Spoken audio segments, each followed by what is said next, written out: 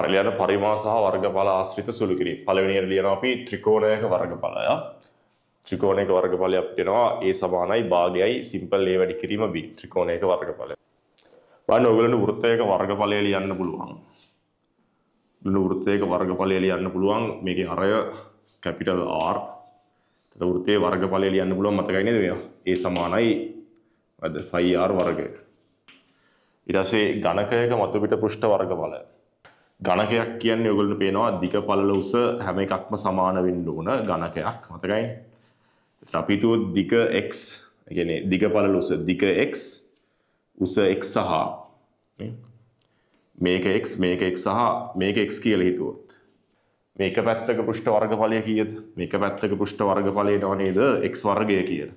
ගණකයක් ගත්තොත් ඒ වගේ පැති 6ක් තියෙනවා. ඒතර ගණකයක පෘෂ්ඨ වර්ගඵලය ඔයගොල්ලන්ට එනවා 6ක් x වර්ගය කියලා. මතකද ඒක? ඝන ගෝලයක පෘෂ්ඨ වර්ගඵලය. ඒතර මේකේ අරය r මේක මම රවුමක් විදිහට ඇඳලා ඕක ගෝලයක්. ගෝලයක් අරය r නම් a එනවා මොකද? 4යි පයි r වර්ගය කියලා එනවා. ඝන අර්ධගෝලයේ දැන් මේකෙන් භාගයක් තියෙනවා මේ අර වක්‍ර පෘෂ්ඨයේ විතරක්. දැන් ඝන අර්ධගෝලය දැන් මේකේ සම්පූර්ණ වක්‍ර පෘෂ්ඨයේ වර්ගඵලයනේ 4ක් පයි r වර්ගය කියන්නේ. ඝන අර්ධගෝලය ගත්තොත් ඒකේ වක්‍ර පෘෂ්ඨ කොටස විතරක් වර්ගඵලය මේකෙන් භාගයක්. හැබැයි ඔයගොල්ලන්ට තේරෙන්න ඕන ඒකට මේ මුහුණත් කොටසේ වර්ගඵලය එකතු වෙන්නත් ඕන. ඒතර මේකේ පෘෂ්ඨ වර්ගඵලය එනවා කීයක්ද? දෙකක් ෆයි r වර්ගය එතන ෆයි r වර්ගය තුනක් ෆයි r වර්ගය කියලා එනවා. ඝන සිලින්ඩරයක මුළු පෘෂ්ඨ වර්ගඵලය මතක් කරමුද මේ? මේ අරය කැපිටල් R නම් උස අපි හිතමු සිම්පල් h කියලා. මේ උස සිම්පල් h නම් ඔයගොල්ලෝ මතකද මේකේ වර්ගඵලය ගන්නේ හරස්කඩ වර්ගඵලය. ඒතර පැති පෘෂ්ඨ වර්ගඵලය 2πr වර්ගය. මේ පැත්තේ 5r වර්ගයක් තියෙනවා අර එහා පැත්තේ 5r වර්ගයක් තියෙනවා. වක්‍ර පෘෂ්ඨයේ වර්ගඵලය ගන්න පුළුවන් නේද? මේක මේ කොටසේ දිග කීයද 2πr. ඒතර ඇත්තටම වෘත්තයක පරිමිතිය කියන්නේ 2πr තමයි. 2πr වටේ දිග 2πr 2πr වාරයක් h නේද වක්‍ර පෘෂ්ඨයේ වර්ගඵලය. ඔව් එතකොට මේ ඝන සිලින්ඩරයේ මුළු පෘෂ්ඨ වර්ගඵලය හොයන්න අර 2πr h කියන එක 2πr වර්ගයට එකතු කරන්න ඕන. ඝනකයක පරිමාව. එක මේක x නම් මේකත් x නම් ඝනකයේ පරිමාව වෙනවා මොකක්ද? හරි. ඝනකයේ පරිමාව වෙනවා මේකේ මේ වර්ගඵලය ගුණ කරාම x වැඩි කිරීම x කියන්නේ x වැඩි කිරීම x කියන්නේ x වර්ගය. ඒක උගලන මතකද? හරස්කඩ වර්ගඵලය උසෙන් වැඩි කරනවා පරිමාව ගන්නනේ. හරස්කඩ වර්ගඵලය උසෙන් වැඩි කරන. ඒතර x වැඩි කිරීම x වැඩි කිරීම x ඔයගලන්ට මේකේ පරිමාව වෙනව නේද? x ඝනය කියන. කේතුවක පරිමාව ඔයගලන්ට මතකද? එහෙම එකක් ගත්තාම මේකේ මේ උස ලම්බගුස h නම් මේකේ අරය හරි මේකේ පතුලේ අරය කැපිටල් R නම් phi r වර්ගය h බෙදීම 3යි. ඝන ගෝලයක පරිමාව ගත්තොත් එනවා 4 බෙදීම 3යි phi r ඝනය. ඝන අර්ධ ගෝලයක පරිමාව. මේකේ අරය R නම් ඝන අර්ධ ගෝලයේ පරිමාව වෙන ඕගොල්ලන්ට මොකක්ද දෙන්නේ? ඝන අර්ධ ගෝලයේ පරිමාව වෙනවා අරගෙන් භාගයක්. මොකක්ද දෙන්නේ? 2 බෙදීම 3යි phi r ඝනය. මේකේ උස සිම්පල් h නම් අරය කැපිටල් R නම් මේකේ පරිමාව එනවා. ඔයගොල්ලෝ දන්නවා හරස්කඩ වර්ගඵලය වැඩි කිරීම උසෙන් පරිමාව ගන්න පුළුවන්. මොකක්ද දෙන්නේ? phi R වර්ග වාරයක් h කියලා එනවා පරිමාව.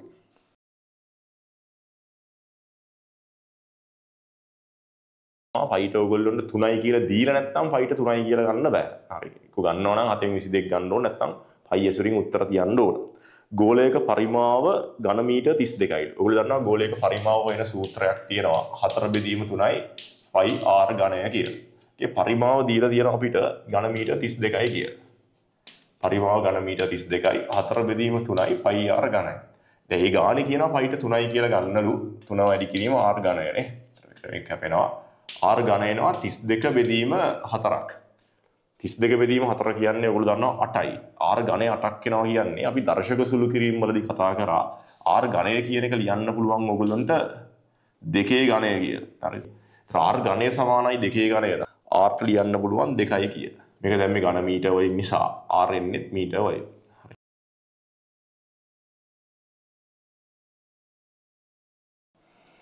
ඝන අර්ධගෝලයක අරය මීටර 1යි එහි මතු පිට පෘෂ්ඨ වර්ගඵලය. හරි අරය මීටරයක් කියලා දීලා තියෙනවා මතු පිට පෘෂ්ඨ වර්ගඵලය අහනවා. ඒ සමානයි 3 වැඩි කිරීම 3යි වැඩි කිරීම 1 වර්ගය. ඒගොල්ලෝ දෙනවා 9යි වර්ග මීටර කියලා.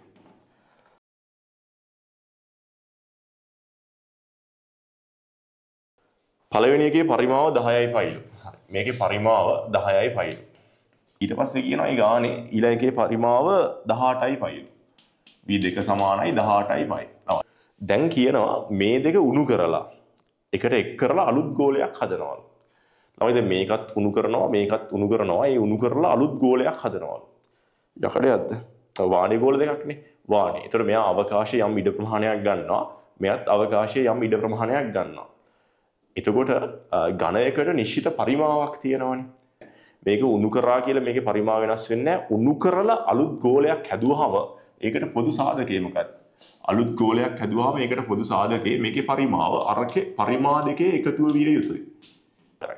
මේ වගේ මේ වානේ ගෝලයක් වානේ ගෝලයකට උණු කරලා එහෙම එකතු කරනකොට අනිවාර්යෙන් මේකේ පරිමාව මේකේ පරිමා දෙකේ එකතුවට සමාන වෙන්න ඕන.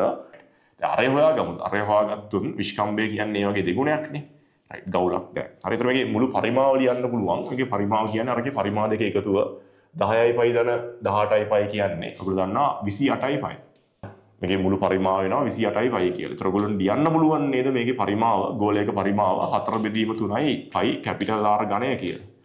පයිට පයි එකක් කැපිලා ගියාම ඔයගොල්ලෝ R ඝනය එනවා. ඔගොල්ලෝ එනවා R ඝනය සමානයි 21යි. ඒතර මේක නම් ලියන්න වෙන්නේ R සමානයි 21 ඝන මූලය කියලා. ඒක 21 ඝන මූලය එහෙම ලස්සන උත්තරයක් එන්නේ නැහැ. විශ්කම්භය ගන්න නම් දෙවරක් R ඒ කියන්නේ දෙවරක් 21 තුනෙන් එක්වෙනි බලය. උත්තරේ එනවා දෙක කියලා.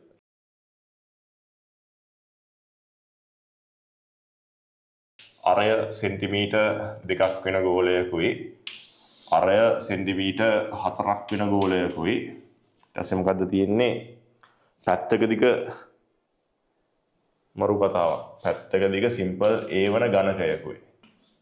උණු කරලා හදනවලු අරය සෙන්ටිමීටර් පහක් හා දිග සෙන්ටිමීටර් 8ක් වන සිලින්ඩරයක්. ඒතර මේ පරිමා තුනේම එකතුව දැන් මේ උණු කරලා ඒ පරිමා තුනේම එකතුවෙන් හදනවලු. යටින් ලියන්න. ඒ පරිමා තුනෙන් තුනේම එකතුවෙන් හදනවා සිලින්ඩරයක්. මේ සිලින්ඩරයේ අරය දීලා තියෙන අපිට සෙන්ටිමීටර් 5යි කියලා. දිග සෙන්ටිමීටර් 8යි. හරි. දිග සෙන්ටිමීටර් 8යි. සිම්පල් එකේ යගේ අහනවා. දැන් ඔයගොල්ලෝ දන්නවා මේ සිලින්ඩරයේ පරිමාව V නම් වැද වෙන්න ඕන V1යි V2යි V3යි එකතුව Vට සමාන වෙන්න ඕන. V1 ලියන්න පුළුවන් 4 බෙදීම 3යි πr ඝනය කියලා. 4 බෙදීම 3යි πr ඝනය. හරි. දැන් ඔයගොල්ලෝ මගෙන් අහන්න අහන්න පුළුවන් දැන් මෙතන සෙන්ටිමීටර් මීටර් කරන්න ඕනද කියලා. දැන් තමයි මේ වගේ සමීකරණයක දැන් ඔක්කොම එකම ඒකක වලින් දාන එක තමයි වෙන්න ඕන. මේකත් පරිමාවක්, මේකත් පරිමාවක්, මේකත් පරිමාවක්, මේකත් පරිමාවක්නේ. අපි ඔක්කොම එකම ඒකක වලින් දාමු. මේක ඝන සෙන්ටිමීටර් වලින් මේකත් ඝන සෙන්ටිමීටර් වලින් මේකත් ඝන සෙන්ටිමීටර් වලින් මේකත් ඝන සෙන්ටිමීටර් වලින්. ඒතර ඔයගොල්ලෝ ඇහුවොත් හැම එකටම මෙහෙම ඕන ඒකකයක් දාන්න පුළුවන්ද කියලා එහෙම බෑ. හරිද? මේ වගේ වගේ එහෙම අවුලක් නෑ ළමයි. මෙතනත් පරිමාව මේ මේ මෙතන එකම පරිමාවක් ටිකක්මනේ තියෙන්නේ. පරිමාව පරිමාව පරිමාව පරිමාව. මේ ඔක්කොම ඝන සෙන්ටිමීටර් වලින් දැම්මට කමක් නෑ. ඔයගොල්ලෝ මානවලදීත් කතා කරනවානේ ඒකකවලදී මේ හැම පදයකම මේ එකතු කරන්න නම් ඒකට සමාන වෙන්න ඕන. රයිට්. ඒතර මේ වගේ අවස්ථාවකට එහෙම අවුලක් නැහැ. ඝන සෙන්ටිමීටර් වලින්ම දාන එක. රයිට්. හරි විවර් මම සෙන්ටිමීටර් වලින් ආදේශ කරනවා v1කට එනවා 2යි. දෙකේ ඝනය ධන v2කට එනවා 4 බෙදීම 3යි 5 4 ඝනය ධන v3 කියන්නේ ඇත්තට මේක මෙහෙම ඝනකයක්. එතකොට ඔයගොල්ලෝ මේකේ පරිමාව ගන්න ඒ වැඩි කිරීම ඒ වැඩි කිරීම ඒ එහෙම නැත්නම් සිම්පල් ඒ ඝනය කියලා. හරි. ඊට පස්සේ මේක ඝන සිලින්ඩරයක් සිලින්ඩරයක පරිමාව ගන්න πr වර්ගයේ වාරයක් උස නේද? πr වර්ගය πr වර්ගය r වර්ගය කියන්නේ පහේ වර්ගය πr වර්ගයේ වාරයක් උස කියන්නේ කීයද? සෙන්ටිමීටර් 8. ෆයිට 3යි කියලා ගන්නවලු. හරි ෆයිට 3යි කියලා අරගෙන සුළු කරමුද? මෙතන එන විතර 4 බෙදීම 3 වැඩි කිරීම 3 දෙකේ ඝනය කියන්නේ කීයද? හරි දෙකේ ඝනය කියන්නේ දෙවරක් දෙක 4යි. හතරවත් දෙක 8යි. ඔක වෙනම සුළු කරන්න ඕන. එකතු කිරීම මෙතන එනවා 4 බෙදීම 3යි පයි කියන්නේ 3යි 4 ඝනය කියන්නේ කීයද 64 ධන සිම්පල් ඒ ඝනය සමාන විතර පයි කියන්නේ 3යි 25 වැඩි කිරීම 8 කියලා එනවා හරි එතන ඔයගොල්ලෝ මෙතනින් සුළු කරොත් එනවා ඒ ඝනය ඒ ඒ ඝනය එනවා 312ක් ඔයගොල්ලන්ට ඒ එනවා සිම්පල් ඒ එනවා 312 තුනෙන් එක්වෙනි බලය මේ අනිත් ඔක්කොම දැන් මේ සෙන්ටිමීටර් වලින් නිසා මේ ඒගේ ඒකකයක් සෙන්ටිමීටර් විය යුතුයි. උදාහරණ භෞතික විද්‍යාවට ආදේශයට ඒකක දැමීම අත්‍යවශ්‍ය නැහැ. හැබැයි අන්තිම උත්තරයට ඒකක තියෙන්න ඕන.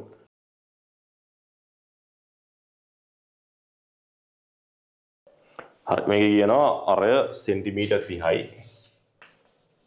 අරය සෙන්ටිමීටර් 30යි. අරය ඊළඟ එක්කනාගේ සෙන්ටිමීටර් 20යි. ඊළඟ එක්කනාගේ අරය සෙන්ටිමීටර් 20යි. ඊට පස්සේ අරය සෙන්ටිමීටර් 10යි. අරය සෙන්ටිමීටර් 10යි. ඔය ගෝල තුන උණු කරලා ගෝල තුන උණු කරලා මොකද කරන්නේ? හදනවලු ගණකයක් හදනවලු. ගණකයක්. ගණකයක් කියන්නේ කොහොම එකක්ද මෙහෙම එකක්. හරි අපෙන් අහනවා ගණකයේ පැත්තක දිග. ගණකයේ පැත්තක දිග අපෙන් අහනවා. හැම පැත්තකම දිග සිම්පල් A නම් මේ ගණකයේ පැත්තක දිග අහනවා. බලන්න මේකේ මොකක්ද වෙන්න ඕනේ? මේ පරිමා තුනේම එකතුව, මේ මුල් පරිමා තුනේම එකතුව රයිට් අරගේ පරිමාවට සමාන විය යුතුයි. එතන මෙතන ගෝලයක පරිමාව ලියන්න පුළුවන්. 4 බෙදීම 3යි පයි 30 ඝනය r ඝනයනේ.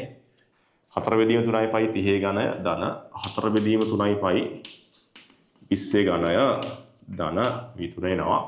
4 බෙදීම 3යි පයි 10 ඝනය සමාන වෙන්න ඕන v කියන්නේ එතකොට ඝනකයක පරිමාව සිම්පල් a ඝනය. මේකෙත් පයිට 3යි කියලා ගන්න තියනවද? ඒකෙත් ෆයිට තුනයි කියලා ගන්න තියෙනවා ෆයිට්. ඒතර මේක සුළු කරමු. ෆයිට තුනයි කියලා ගන්න පුළුවන් ඔයගොල්ලන්ට තේරෙනවා. ඒතර අපි ලියන්න පුළුවන්. ඇත්තට මෙතන හතර බෙදීම තුන පොදුයි කියලා ගන්න. හතර බෙදීම තුනයි පයි පොදුයිනේ. අප පොඩක් ලේසියට සුළු කරමුද බලන්න. හතර බෙදීම තුනයි පයි පොදුයි. නිකන් බලමු මේ ඒ ගණය එනවා. ඒ ගණය උත්ත කරොත් එනවා හතර බෙදීම තුනයි පයි පොදුයි.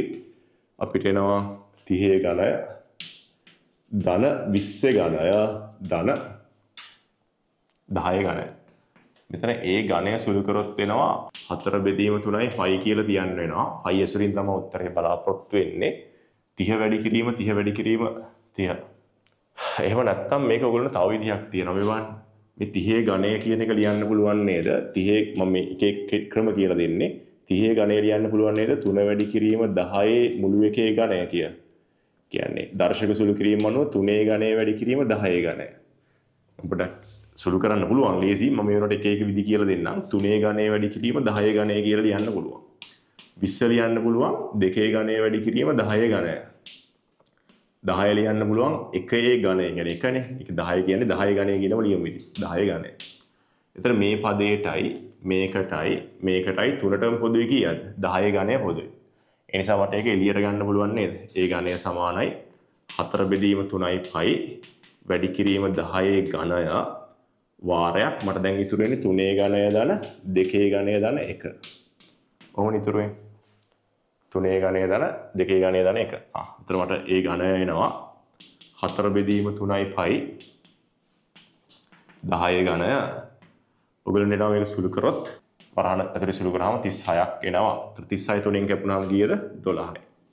හරි මට එනවා එතකොට සිම්පල් A ඝනය සමානයි කියලා දෙන්නේ. දහයේ ගණය මම ලේසියට ලියන්නම් දහයේ ගණය දොළහා කියන එකත් ලියන්න බෑ අපිට දැන් හතර වරක් දොළහ එනවා නේද? හතර වරක් දොළහ එනවා. හතර වර බලන්න උත්තර ටිකක් දිහා පොඩ්ඩක් බලමු. හරි මේ ටික සුළු කරලා තියනවා ඒගොල්ලෝ රයිට් ඔයගොල්ලෝ එනවා හතර වරක් 12 හතර වරක් 12 කියන්නේ 48යි එතන 48යි බිංදු 3යි 48000යි පයි කියලා එනවා. හතලිස් අට දාහයි පයි. හතලිස් අටදාහයි පයි කියල එනවා. එතකොට ඒ එන්නේ මොකක්ද මේක ගණ මූලය. හතලිස් අටදාහේ තුනෙන් එක්වෙනි බලය වාරයක් පයිගේ තුනෙන් එක්වෙනි බලය. හොම එන්නේ උත්තරල ෆයිගේ තුනෙන් එක්වෙනි බලය තියෙනවා. හතලිස් අටදාහේ තුනෙන් එක්වෙනි බලය අපි එහෙනම් හොයන්න ඕන. තුරගුණ ඔප්ෂන් දෙකක් තියෙනවා. එකක් තමා ලඝු පොතක් අරගෙන 48000 කියන එකේ ලඝු බලන්න ඕන. මේ කොටසේ ලඝු බලලා තුනෙන් එකෙන් ಗುಣ කරන්න ඕන. මතකද? හතරිස් අටදාහේ ලඝු බලලා තුනෙන් එකෙන් ගුණ කරන්න ඕන. ඒ තුනෙන් එකෙන් ගුණ කරලා එන එක ලඝු බලලා තුනෙන් එකෙන් ගුණ කරලා එන එක ආය ප්‍රතිලඝු බලන්න ඕන. ආය ප්‍රතිලඝු බලන්න ඕන. හරි. දැන් ඔය 36.8 කියලා තියෙන පළවෙනි එකේ තියෙන 36.8 36.8යි පයිගේ තුනෙන් එක කියලානේ. එතන ළමයි දැන් හිතන්නකෝ 48000 තුනෙන් එක්කෙනි බලය. ඒ කියන්නේ මොකක් තුන් පාරක් ගුණ කරාමද මොකක් තුන් පාරක් ගුණ කරාමද 48000 එන්නේ. දැන් බලන්න අර පළවෙනි එකේ උත්තරේ තියෙන 36.8නේ. ඔයගොල්ලෝ පුළුවන් 36.8 තුන් පාරක් ගුණ කරලා බලන්න. 36.8යි 36.8යි. මෙන්න මේක සුළු කරාම එයි. ඒක ලේසි දැන් ඒ කියන්නේ ලඝු බලන්න කම්මැලි එකෙක් නම් ඕක ඔහොම කරන්න පුළුවන්.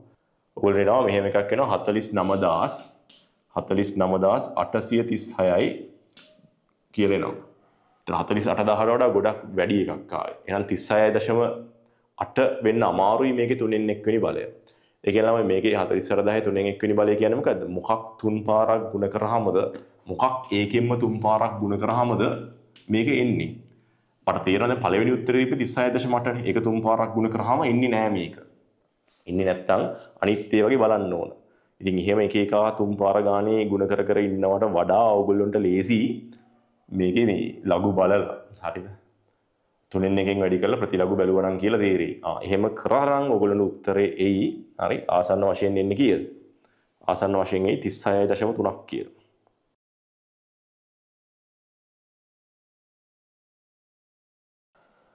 අරය සෙන්ටිමීටර් දෙකක් හා අරය සෙන්ටිමීටර් තුනක් වන ජල බිඳු දෙකක් එකතු වීමෙන් සැදෙන තනි ජල බිඳුවක අරය වන්නේ. මේකේ අරය සෙන්ටිමීටර් දෙකයි. මේකේ අරය සෙන්ටිමීටර් තුනයි. එකතු වෙලා හැදෙනවලු තනි ජල බිඳුවක්.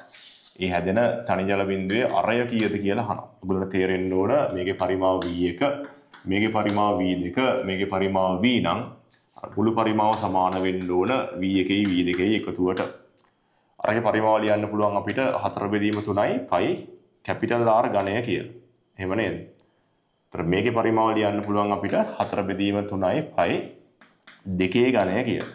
මොකද මේවා සෙන්ටිමීටර් වලින් දැම්මොත් අපිට කැපිටල් R සෙන්ටිමීටර් වලින්ම ගන්න පුළුවන්.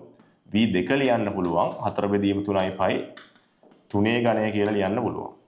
ඒ බලන්න දැන් මේ කොටසෙයි මේ කොටසෙයි මේ කොටසේ හරි මේකයි මේකයි මේකයි තුනේම හතර බෙදීම තුනයි පයි කියන කොටස පොදුයි නේද? මුළු සමීකරණෙම තියෙන පදවල හතර බෙදීම තුනයි පයි කියන එක තියෙනවා. හතර බෙදීම තුනට හතර බෙදීම තුනට හතර බෙදීම තුන කැපිලා යනවා. පයිට පයිට පයි කැපිලා යනවා. අපිට අන්තිමට ඉතුරු වෙනවා r ඝනය සමානයි දෙකේ ඝනය ධන තුනේ ඝනය කියලා. r ඝනය සමානයි ඉස්සෙල්ලා මේක සුළු කරන්න ඕන. දෙකේ ඝනය 8ක් එනවා තුනේ ඝනය එනවා 27ක්. එහෙම නේද? තුන් වරක් තුන 9යි නව වරක් තුන 27යි r ඝනය සුළු කරාම වෙනවා 27යි 8 එකතුව 27යි 8 එකතු කරාම ඕගොල්ලන්ට එනවා 35ක් 35ක් එනවා එහෙනම් r එනවා ඕගොල්ලන්ට 35 තුනෙන් එක්වෙනි බලය ඝන මූලය මේ අපි දර්ශකවලදී කතා කරා.